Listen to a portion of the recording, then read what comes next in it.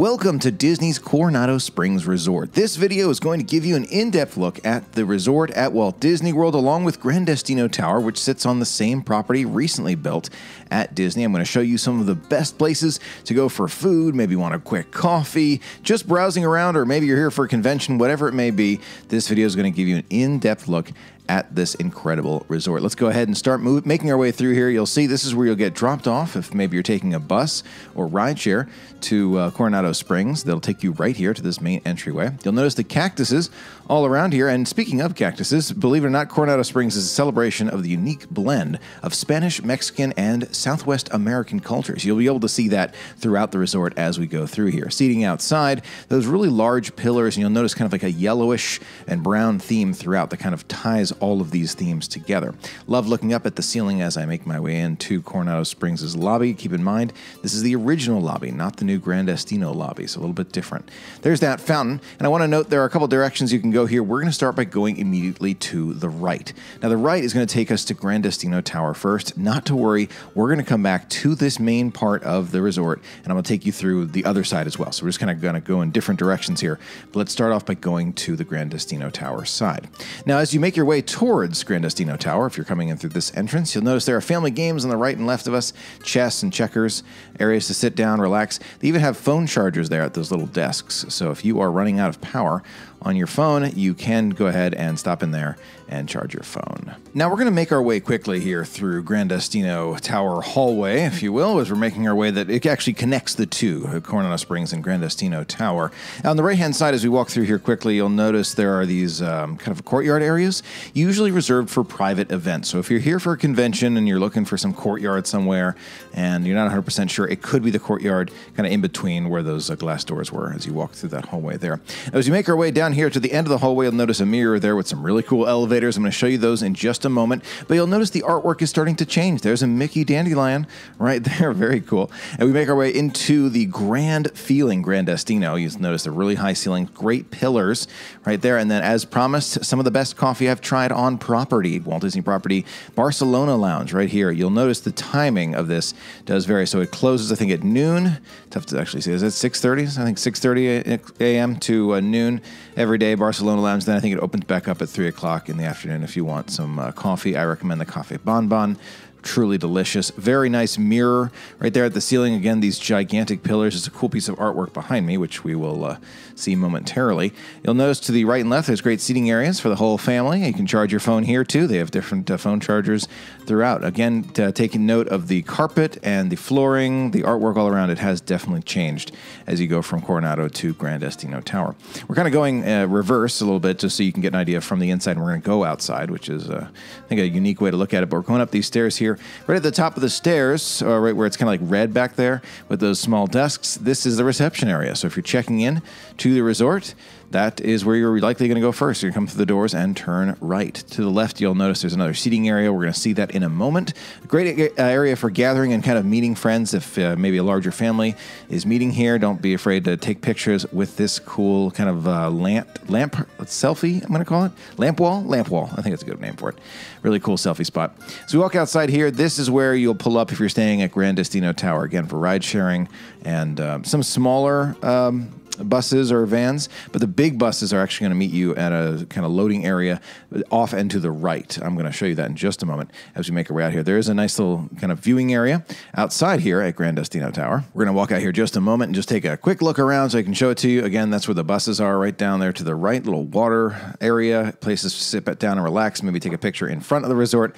Then we're just going to go back inside. Again, I kind of want to show you as we walk to the door here, I'm going to turn left. This is that pathway that'll take you down to the buses buses. If you're going to the parks, we're going to another spot, that walkway right down there, that's how you get to the buses. Very important to note that if you're trying to get, hey, where's that bus? Pick me up. Trying to get to a park, trying to go somewhere else, that's where it is. Again, walking in to the lobby here, you remember we, we came in from the right side, now we're going left. Nice seating area here. It does look like another reception area, but it's actually not used for that. It's used for just kind of a seating, maybe conference gathering area. Again, this is a convention or the, the primary convention resort at Walt Disney World. Now, as we continue to make our way here, you'll notice we're now these really cool elevators. If you've been to, uh, I feel like it's becoming more common nowadays, but if you've been to Vegas or other places like that, you'll notice these buttons are here on the outside of the elevators where you actually choose where you want to go. And then the elevator bank here tells you which elevator to take. We're taking elevator A to take us down to the lower level.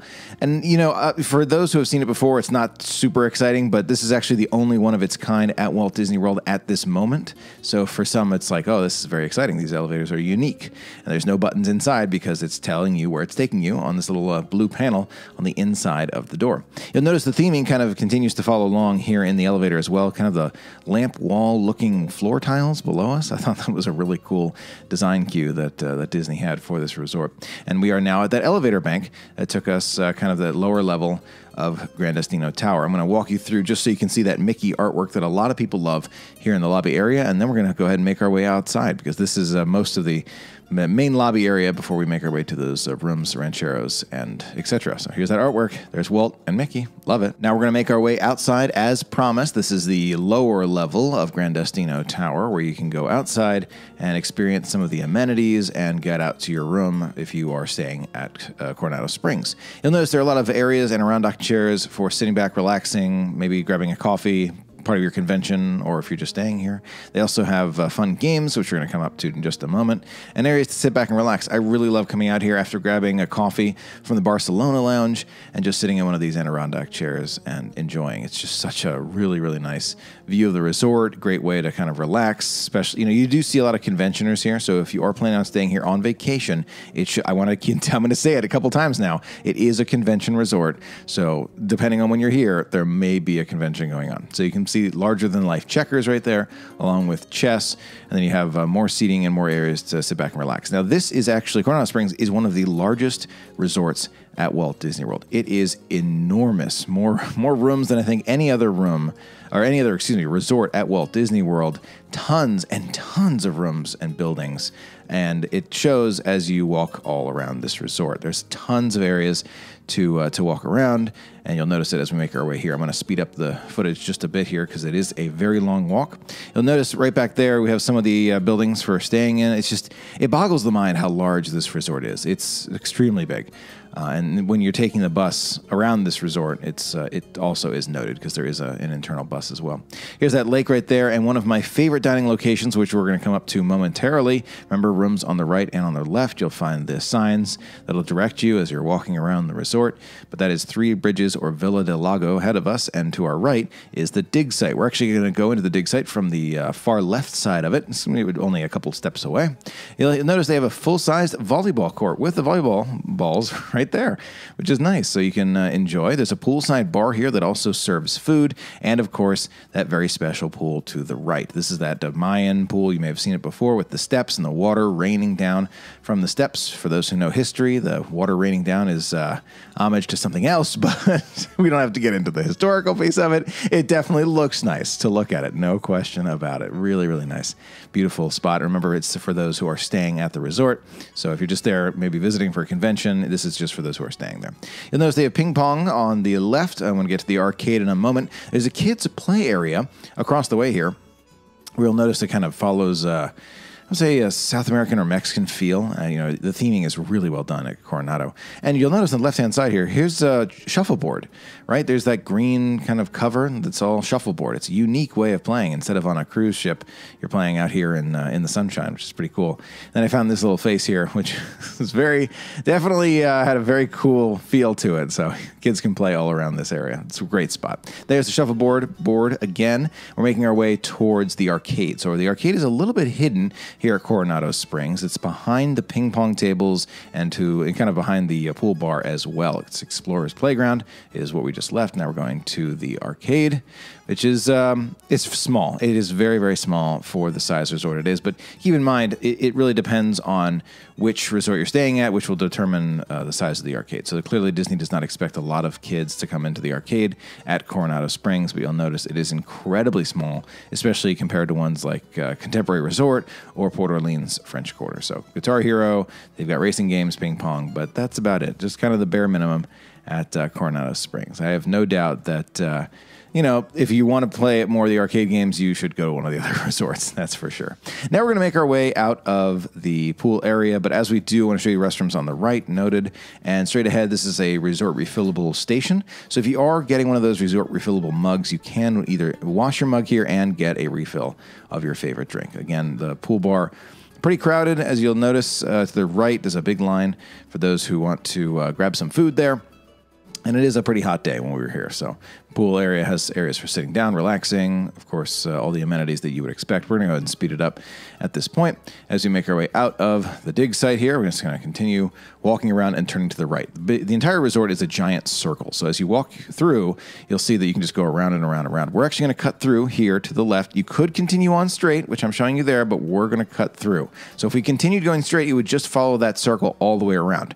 When you take one of these bridges across the waterway, it's uh, it kind of is a cut through to the other side. That is how expansive this resort is. It is enormous. Now we are here at Three Bridges or Villa del Lago, one of my favorite dining locations here at Walt Disney World. It's a very unique one because they don't really have reservations for it, right? They or they they hadn't for a while. A lot of it's walk-up reservations, uh, and the reason for that is because it is meant for the conventioners, for those who are staying at Coronado Springs. If you have the opportunity and you're here and you can try some of the food, I do recommend it. The burger here is outstanding, but it should be noted that this location does not open until the afternoon. So it's a little uh, early in the day, so it is closed at the moment, but you can check out the menu. I also want to note that we are we can make our way in three directions, three bridges, of course.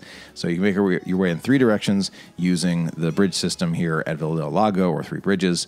Imagine what it was like before they put the bridges in place. This is this has definitely made a big difference in terms of Coronado and being able to get around. So instead of having to go all the way across by making the circle, you can just cut through using one of the very very helpful bridges. Now we're going to go ahead and turn back the way we came, and instead of going across the same bridge we just went across, we're going to go across the other one and turn left here. Let's speed it up just a bit. Nice fountains right in the middle.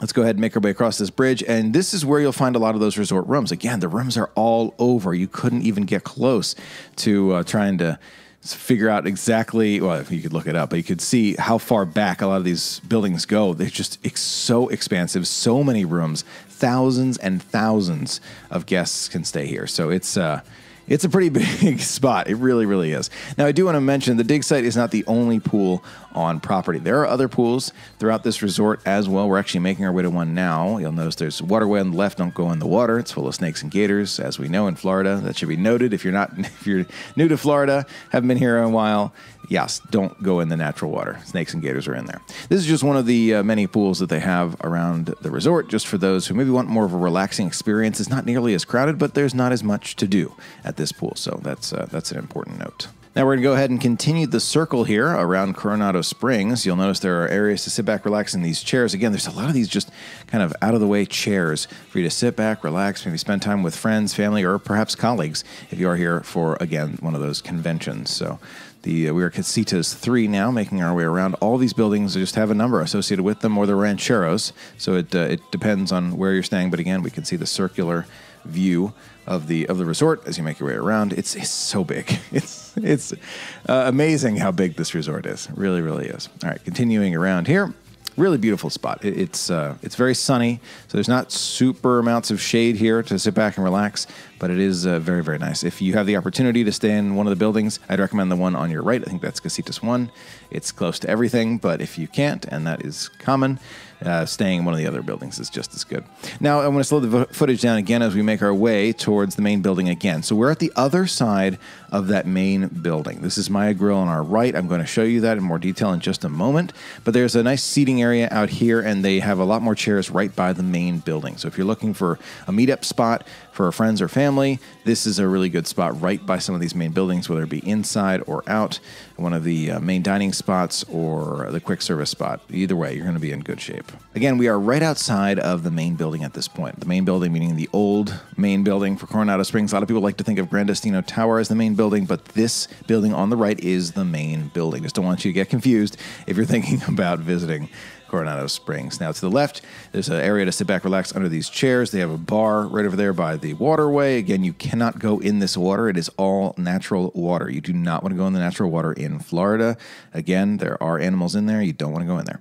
Uh, seating to the right as well, and there's a there's a ramp as well if you're using a mobility scooter or wheelchair. You can get down to that uh, viewing area and the chairs if you want to. Now let's go inside El Centro, the main building at Coronado Springs. We we saw this building when we first walked in. I'm going to kind of show you from the other side now. So we went to the right as we walked in, and we're coming out of the center door. So right across the way now is how we came in. Right there's that fountain. The fountain should be the reference point. We're going to go to the gift shop now, where you'll find some of the very unique gifts that they have at Coronado Springs. Now, I could go over everything that you could possibly find at any of these resorts, but instead, I think the best way to kind of approach this one is to go over the Coronado Springs specific items that you can only find here. Some of them include one of my favorite restaurants, Villa del Lago. They even have a hat and shirt combo for it now, which is pretty cool. I do like those a lot. Again, that restaurant is outstanding. You kind of a unique look. You're not going to find this anywhere else except for Coronado Springs because you, you guessed it, it's only at Coronado Springs. okay, we got it. They have unique bags and uh, shirts, hats, as you'd imagine, things that you can find in other parts of Walt Disney World as well. A lot of people having a really good time walking through uh, this gift shop for sure.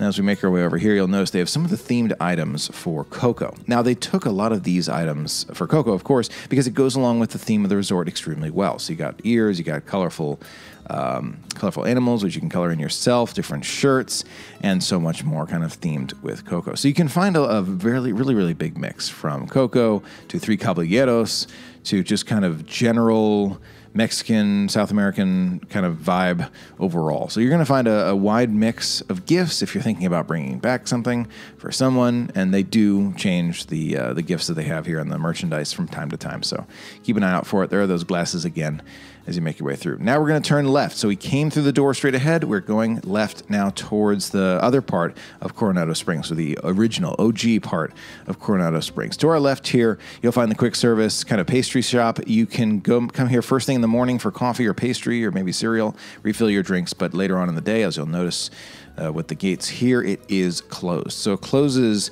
kind of er, middle of the day for them to clean and change a couple things out. But early in the day is, is the primary time for uh, for this spot right here. Now we're getting to some of those great restaurants along with Villa del Lago or Three Bridges.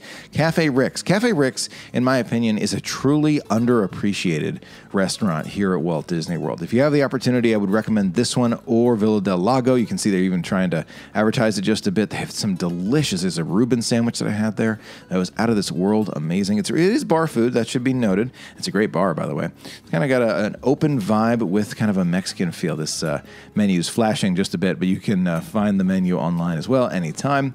Again, you can check in with any of the uh, hostesses there, and they'll be able to help you out. Now, here's where you can find the main convention center. If you're staying here for a convention, this is where you'll likely spend a lot of your time. I noticed they had a coin machine over here by the convention center. I figured I'd go ahead and check it out just for a moment for those who love the coins, the press pennies here at uh, Disney, just so you have reference. But now we're going to the main uh, quick service dining experience. Now, most resorts at Walt Disney World have a quick service dining experience.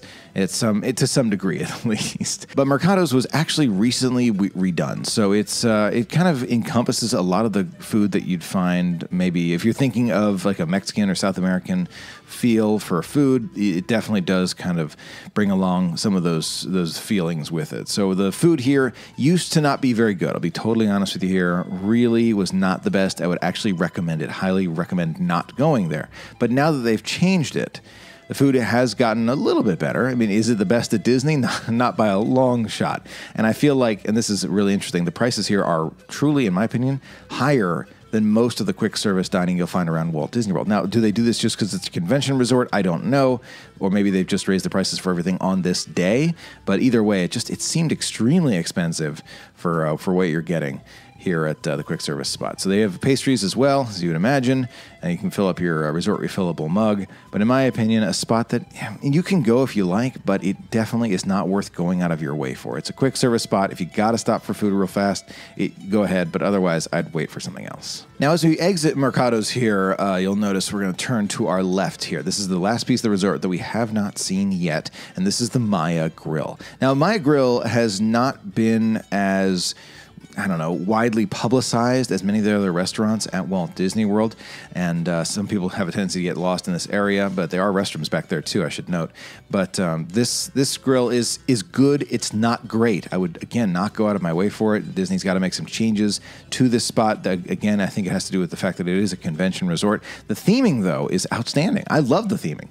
Really, really cool. You can see kind of like a Mayan feel throughout the whole thing. Even those chairs, the torches up above, the seating area. Really, really nice. I love the theming. They just need to improve the food just a bit. You can see the Mayan uh, priests right there, kind of making their way into the restaurant. Very, very cool how they've done this resort. I really hope that you enjoyed it. If you're thinking about staying at Coronado Springs, I hope this video was helpful to you if you're thinking about it. Overall, a fun experience and a great place to visit, stay, or just maybe go to a convention. Thanks so much for being a part of it with me, and a special thanks to our Patreon production team for making all of our videos possible. Until next time, have a magical day. I'll see you real soon.